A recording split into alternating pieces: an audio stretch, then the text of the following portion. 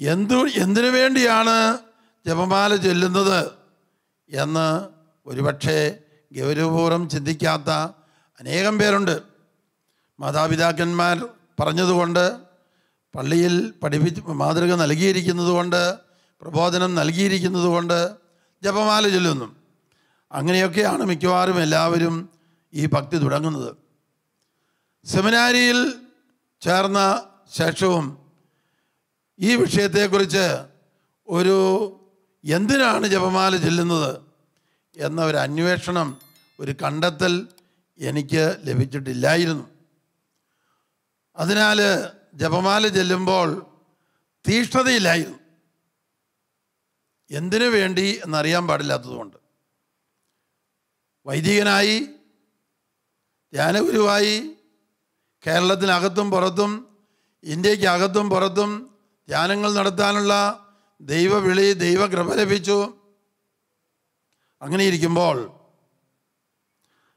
U S എയുടെ അമേരിക്കയുടെ തൊട്ടടുത്ത രാജ്യമായ മെക്സിക്കോയിൽ വചനപ്രഘോഷണത്തിന് ക്ഷണം കിട്ടി. അവിടെയുള്ള അവിടെ ജോലി ചെയ്യുന്ന ഒരു മലയാളി മുൻകൈ എടുത്താണ് ഞങ്ങളെ ക്ഷണിക്കുക. അങ്ങനെ ആയിരത്തി തൊള്ളായിരത്തി തൊണ്ണൂറ്റി മൂന്നിലും തൊണ്ണൂറ്റി നാലിലും തൊണ്ണൂറ്റി അഞ്ചിലും മെക്സിക്കോയിൽ ധ്യാനിപ്പിക്കാൻ പോയി. പോകുന്ന സ്ഥലത്തിന് ഒരു പ്രത്യേകതയുണ്ട്. ആയിരത്തി അഞ്ഞൂറ്റി മുപ്പത്തി അഞ്ചിൽ പരിശുദ്ധ അമ്മ ഒരു ഗ്രാമീണ കൃഷിവലന് പ്രത്യക്ഷപ്പെട്ട് ഇവിടെ ഒരു ദേവാലയം നിർമ്മിക്കുവാൻ ബിഷപ്പിനോട് ആവശ്യപ്പെടാൻ പറഞ്ഞു. ബിഷപ്പ് നീ എന്ന് പറഞ്ഞാൽ ഇങ്ങനെയൊരു അപേക്ഷ സ്വീകരിക്കുകയില്ല. അതിനാൽ ഇന്ന ഇന്ന തെളിവുകൾ കൊടുക്കാൻ പറഞ്ഞു. അത്ഭുതങ്ങൾ തന്നെയാണ്. ഒന്നിനു പുറകെ രണ്ട് പ്രധാനപ്പെട്ട അത്ഭുതങ്ങൾ. രണ്ടാമത്തെ അത്ഭുതം കഴിഞ്ഞപ്പോൾ ബിഷപ്പ് ഇത് ശരിയായൊരു സന്ദേശമാണെന്ന് തിരിച്ചറിഞ്ഞു. മാതാവ് പ്രത്യക്ഷപ്പെട്ട സ്ഥലത്ത് അയ്യായിരം പേർക്ക് ഇരിക്കാവുന്ന ഒരു വലിയ ബസലിക്ക ഉണ്ട്. എല്ലാ മണിക്കൂറിലും അവിടെ കുർബാനയുണ്ട്. രണ്ടായിരം പേരെങ്കിലും കാണും. ഒരു കൊല്ലം രണ്ടു കോടി പേരവിടെ തീർത്ഥാടകരായിട്ട് ചെല്ലാറുണ്ട്. മാതാവ് പ്രത്യക്ഷപ്പെട്ട ആയിരത്തി അഞ്ഞൂറ്റി മുപ്പത്തി അഞ്ചിന് ശേഷമുള്ള പത്ത് കൊല്ലത്തിനുള്ളിൽ എൺപത് ലക്ഷം പേര് മാമോദീസ സ്വീകരിച്ച് ക്രിസ്ത്യാനികളായ ഒരു രാജ്യമാണത്. അതിന്റെ അർത്ഥം അതിന്റെ അർത്ഥസൂചന പരിശുദ്ധ അമ്മയുടെ പ്രത്യക്ഷീകരണം പ്രമാണിച്ച് ദൈവം പരിശുദ്ധാത്മാവിനെ വർഷിക്കുന്നുണ്ട്. പരിശുദ്ധ അമ്മയെ ദൈവം ബഹുമാനിക്കുന്നു യേശു ബഹുമാനിക്കുന്നു. അതുപോലെ തന്നെ ലോകം മുഴുവൻ പരിശുദ്ധ അമ്മയെ ബഹുമാനിക്കണം സ്നേഹിക്കണം. കാരണം ഇതാണ് ദൈവത്തിന്റെ പുത്രന് ജന്മം കൊടുക്കാനും ആ പുത്രനെ വളർത്തിയെടുക്കാനും ആ പുത്രനോടൊപ്പം ലോകരക്ഷയ്ക്കു വേണ്ടി പീഡ സഹിക്കുവാനും പ്രത്യേകം തെരഞ്ഞെടുത്ത ഉയർത്തിയ ഒരു വ്യക്തിയാണ് മറിയം.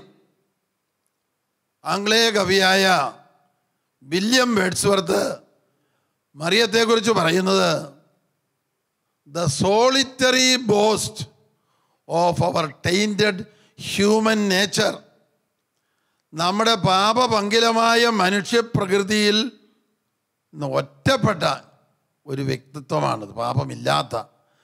പാപമില്ലാതെ പിതാവ് യേശുവിന്റെ അമ്മയാകാൻ പ്രത്യേകം തിരഞ്ഞെടുത്ത് ഉയർത്തിയ വ്യക്തിയാണ്.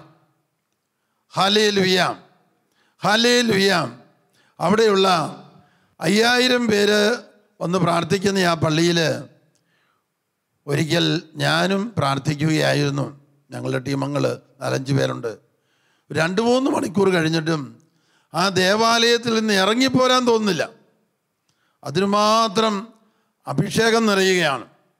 ദൈവസ്നേഹം നിറയുകയാണ്. വേറെ വാക്കിൽ പറഞ്ഞാൽ പരിശുദ്ധാത്മാഭിഷേകം നിറയുകയാണ്. എന്റെ കൂടെ ഉണ്ടായിരുന്ന ഒരു ടീമംഗം അപ്പോൾ പറഞ്ഞു അച്ഛാ വർഷങ്ങൾക്ക് മുമ്പ് അച്ഛന് നഷ്ടപ്പെട്ടു പോയ മരിയ ഭക്തി ഇവിടെ വെച്ച് തിരിച്ചു കിട്ടുന്നു. ഒരു രണ്ട് മൂന്ന് കൊല്ലമായിട്ട് എന്തിനു മാതാവിനോട് ഇങ്ങനെ പ്രാർത്ഥിക്കണം? എന്തിനിങ്ങനെ നന്മറിഞ്ഞു പറയും ചെല്ലണം? എന്നൊരു എതിർ ചിന്ത എന്റെ മനസ്സിൽ തുടർച്ചയായിട്ട് അനുഭവപ്പെടുന്നതുകൊണ്ട് മറ്റുള്ളവർ ജപമാല ചെല്ലുമ്പോഴും ഞാൻ മൗനമായിട്ടിരിക്കും. എങ്കിലും എനിക്ക് ഈ പൈശാചിക പീഡ ദൈവം അനുവദിച്ചത്. ഈ വിഷയത്തെക്കുറിച്ചുള്ള യഥാർത്ഥ പദ്ധതി എന്താണെന്ന് ആത്മീയ പദ്ധതി എന്താണെന്ന് ഞാൻ അന്വേഷിച്ച് കണ്ടെത്തി. മറ്റുള്ളവരോട് പ്രഘോഷിക്കണമെന്ന് ദൈവം അഭിലഷിച്ചിരുന്നു.